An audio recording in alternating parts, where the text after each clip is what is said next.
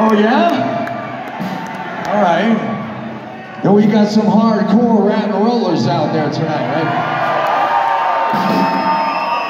So, anyway, on this Out of the Cellar album, there's a song called